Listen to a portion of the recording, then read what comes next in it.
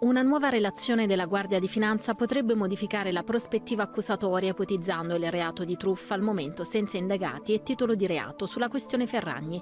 L'informativa riguarda la vicenda che ha già portato ad una maxi multa per l'imprenditrice e per l'azienda di Cuneo che ha sfornato il dolce natalizio Pink Christmas per pubblicità ingannevole in materia di beneficenza. Nel frattempo alcune procure nei giorni scorsi hanno aperto analoghi fascicoli senza ipotesi di reato né indagati.